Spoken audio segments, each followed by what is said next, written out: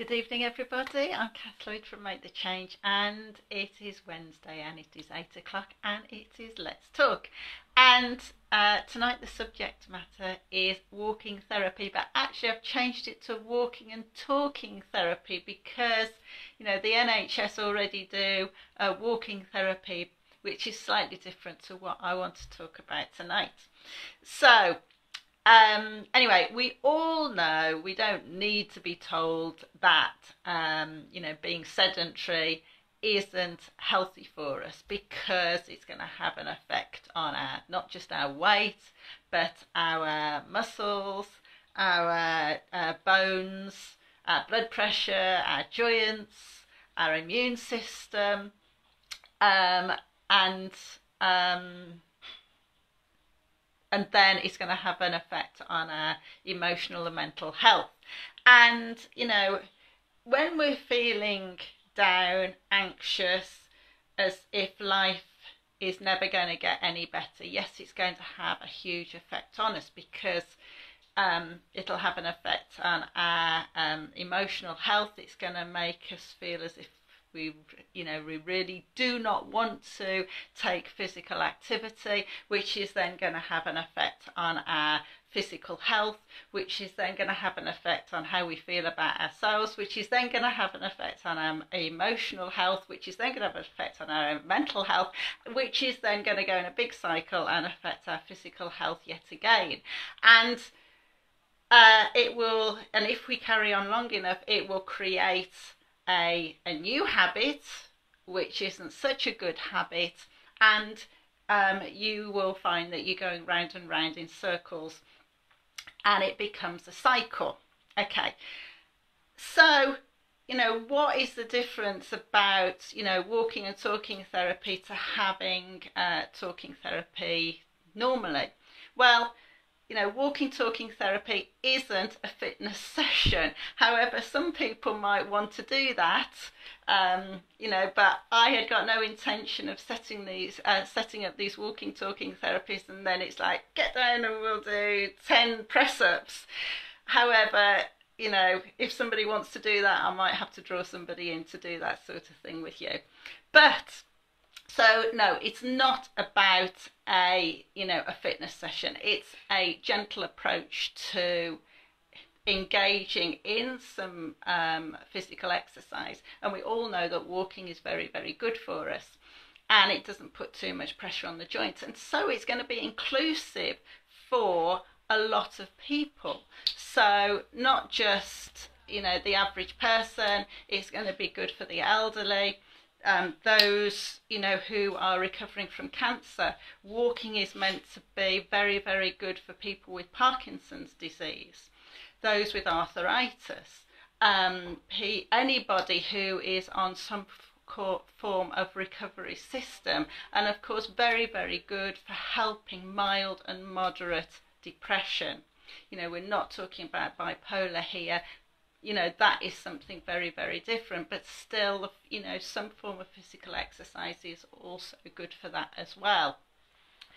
But you know walking talking therapy is a great way of you know bringing in some form of process to help you move in a different direction of where you want to go.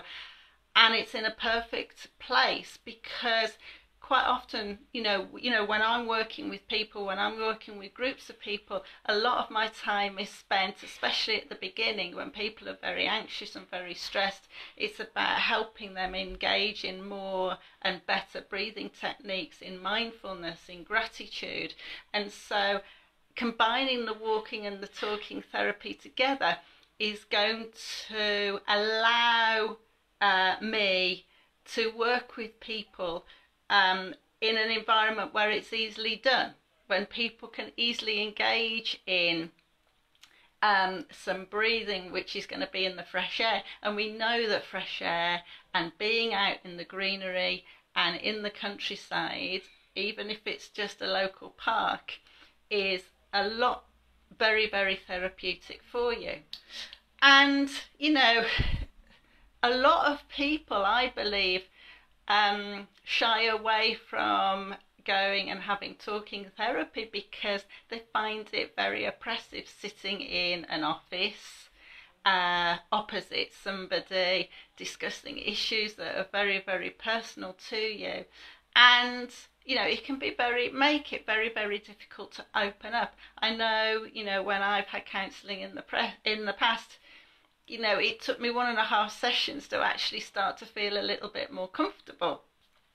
And so, I, you know, I believe that the walking, talking therapy is really going to open up um, a better conversation, a more freer conversation, and you know, people, both of the, you know, myself and the people that I'll be working with are going to feel a lot more relaxed. And you know, also it can be done at just like with any sort of um, talking therapy, it is done at the pace of the person in the group.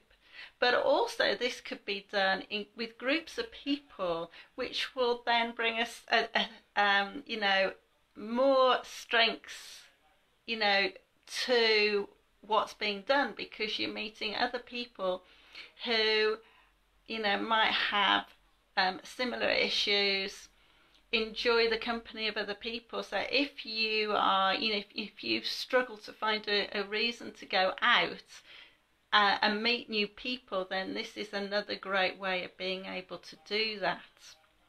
And so, you know, the walking, talking therapy is going to not only develop other friendships, which is, is also good, but also you know, work on those issues that are causing grave concerns for you and finding better ways of moving through life and and challenging those uncomfortable conflicting thoughts and arguments that are going through your head.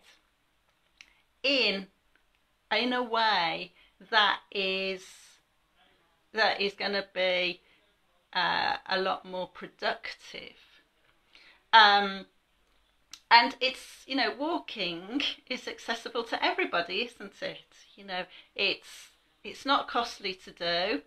All you need is a pair of trainers or boots, some water, perhaps a raincoat just in case. However, we don't really need it at the moment unless you're down in Wimbledon, of course, because it's raining down there. And, you know, you don't have to go very far and also, you know, it could be done in different terrains.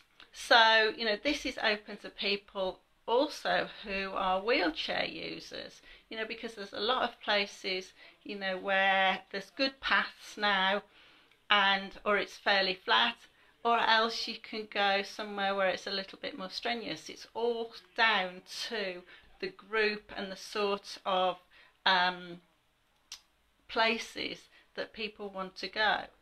So it can be tailor made to the individual or to the group. So, for example, you know, I could run a group that is um, suitable for people um, who need um, a flat environment and then run a separate group where people want to have something a little bit more, where they have to exert their energy a little bit more. Um, you know, so it's a great way of putting different things together to get a good outcome as if, you know, you were going and sitting down in an office with somebody. And also, I mean, I've done coaching in public places as well. Um, and and that's fine but again sometimes you might feel a little bit conspicuous or a bit worried that people will overhear because unfortunately people do earwig and they um, you know they people, a lot of people people watch and so can pick up on information with uh, very subtleties of information that um, you, you don't realize is happening. So I mean Ian you know, what do you think? I know that you, Ian, are really into your fitness, and it would be great to hear what you think about walking, talking therapy. And so, you know, perhaps if you're having a little think about it, I am thinking about setting up um, a weekly group in September. Um, August is a difficult time because it's the main holiday season, so I'm looking at September. And it's just trying to work out what is the best time of day, which is the best day. Everybody's got different work schedules these days. You know, back 50 years ago, it was more nine to five. Most, you know, most of the population did do nine to five working, but of course, there's a lot wider variety of shift patterns now. So it's trying to work out which is the best um, time scale for everybody. And, you know, going in groups, working in groups means it's going to be a lot more accessible for people because it will just be a nominal fee, um, you know, to, to come along. And, you know, and it's a great way of bringing your friends along as well and doing something with your friends as well and talking about different issues. So I was going, you know, I'm looking at, you know, having different themes, um, you know, that we talk about, doing at the beginning, doing some breathing to get people invigorated, um, perhaps using a little bit of essential oil as well to get people uh, engaged or even if people are a, bit, a little bit anxious or stressed to help calm them down so they can enjoy the process a lot more um, you know a lot more. So this is quite a short little session really unlike some of them. I know i rattled on a lot last week.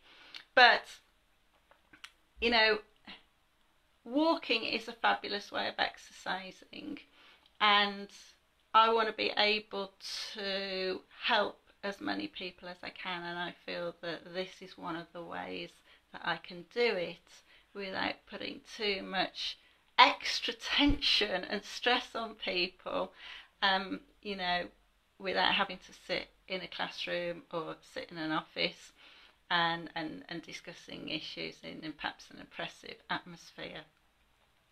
So, what I really need to find out from you guys who are listening is if you're interested, or is, is this something that you are interested in, or you know somebody who, is, who might be interested in it, and the best time to do it. Um, you know, is it the weekend? Is it in the middle of the day? Is it in the evening after work, or even before work? Because you know, everybody has their better time of day for whatever reason that might be.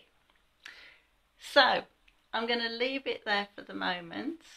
Um, I'd love you to have a little think about the walk and talk therapy. I'd love to hear from you and I will be speaking to you again next week, probably somewhere in Edinburgh. But have a great week. Enjoy the sunshine, but keep cool, keep putting your sun cream on. Uh, have a good night's sleep and a great week. Bye bye.